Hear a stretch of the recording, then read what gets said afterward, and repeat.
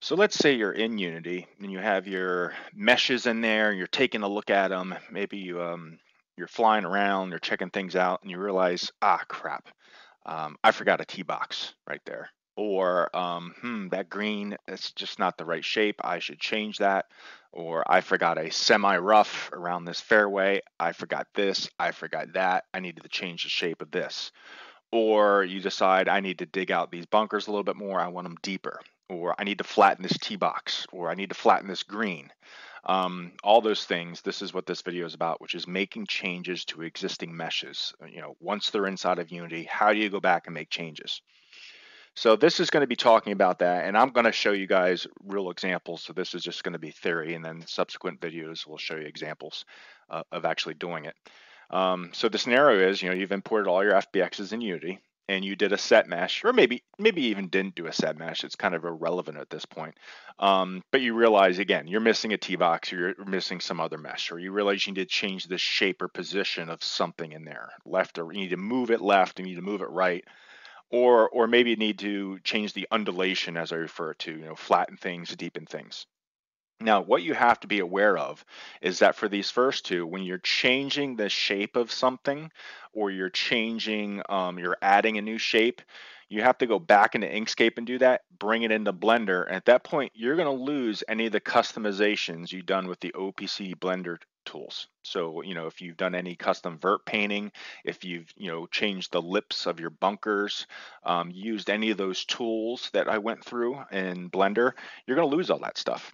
Okay, now there are ways, more advanced videos, which hopefully I'll be able to cover um, to get around that, but you want to avoid that, okay, as much as possible. So that's why I'm saying you really need to inspect your meshes and make sure that they're how you like, and, and don't spend a lot of time, especially with your first two holes, customizing all that stuff, because when you go back and you add all your other holes in and bring those through, you're going to be basically overwriting everything that you maybe customized inside of Blender. Okay, so what, how do we do these things? So let's say we want to add a new mesh and or we want, you know, change a mesh. So we need to go back into Inkscape. Now you think, oh my gosh, I have to go through all this again. Once you have all this stuff done, you know, moving back through the cloud and Blender, it's actually not that bad. It actually is pretty quick and you'll get used to that workflow. Uh, it becomes like muscle memory. So you need to go back and you need to add those shapes inside of Inkscape or change them inside of Inkscape. Okay, so if you're adding a semi, you need to add it. If you're changing the shape of a tee box or green, you need to go back into Inkscape and change that. Okay, that's the first place to start. Then what you do is you, you know, you're going to save that no sat SVG again, and you're going to upload it through the Clender. Remember the form. You're going to send it through Clender, and then the Clender is going to process it, and then it's going to send you back your Blender file, your Blender post mesh file. Um, you're going to open up that post mesh file, which of course includes all the Blender tools, and now you need to re-import your terrain again into Blender, and you need to conform your meshes to that terrain. Um, and at that point, you know, if you did any custom Blender work, you're going to need to redo it at that point. Um, but I would suggest, you know, do that custom Blender work kind of last at the end of the process. All right.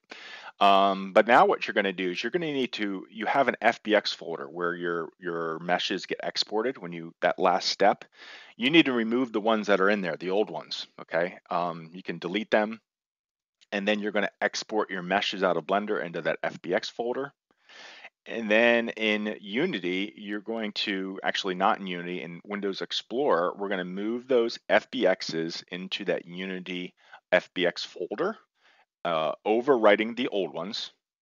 Okay, and I'll show you. So you're going to slide those all in. Now you're going to overwrite the old ones, but any new ones that you created, okay, will be new inside that folder. Okay, um, and it's important uh, that you do that correctly. Now, if you do it the wrong way, then you're going to actually have duplicates. I'm going to show you how to avoid that.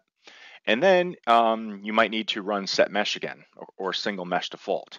Um, set mesh, remember that'll restore all the defaults, or if you only imported a couple new um, a couple new shapes, you could just run the single mesh default, the right click capability. So it really depends on how much stuff you want to update and how much customization you did in Unity. You might not want to lose that stuff as well. So a single mesh default um, update will, will resolve that. Um, if you want to flatten or deepen, um, you know, change the undulation of a mesh, like flatten a tee box, dig a bunker deeper, or flatten a green, or general terrain work, as I call it, um, you're going to dig or shape your terrain in Unity using RAM or the Unity tools, which were in the previous tutorials, okay, just like you normally would. And then you're going to export your terrain OB, OBJ you're going to open your existing post mesh blend file. Okay, so now since we're working with the your existing post mesh blend file, we're not creating a new one, you won't lose your OPCD customizations. Okay, so that's an advantage. So any terrain, all we're going to do is we're just essentially, we're just going to reconform.